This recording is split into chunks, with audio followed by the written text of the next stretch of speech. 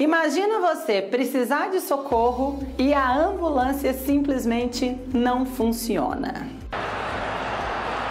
Tem que empurrar. A ambulância precisa ser empurrada. Só faltava essa, gente. Aí não dá, né, gente? Aí realmente. Tem que empurrar a ambulância para ela pegar. Pegou no tranco. Lá vai.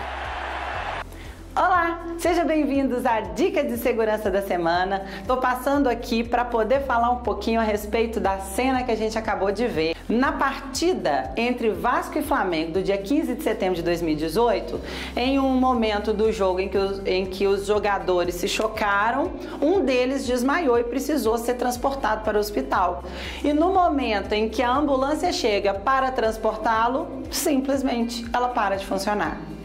Essa falha me chamou a atenção para algo que pode ocorrer até mais vezes, especialmente nas grandes empresas que têm ambulâncias à disposição dos trabalhadores no possível acidente, as ambulâncias para os eventos. Hoje, qualquer grande evento, seja o futebol, seja um show, sempre tem que ter ambulância disponível. Isso já faz parte do contrato ali no momento de fechamento, né? Para que numa possível possível emergência tenha um resposta, uma resposta rápida para atendimento da vítima. E se a ambulância simplesmente não funciona, cai por terra a necessidade de agilizar esse socorro. Então a minha dica da semana é: você tem ambulância? Faça manutenção, esteja sempre atento, liga o carro todos os dias para ver se a bateria está carregada, é, faça as expensões necessárias, porque é uma situação em que a falha pode acarretar consequências muito graves.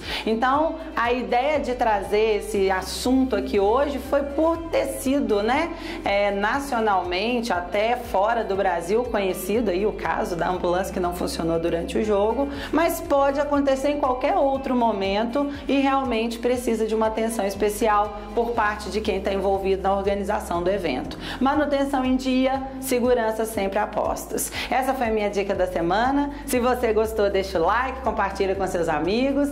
Continua seguindo a MA nas redes sociais, se inscreve no canal se não é inscrito, clica no sininho para ativar as notificações e até a próxima.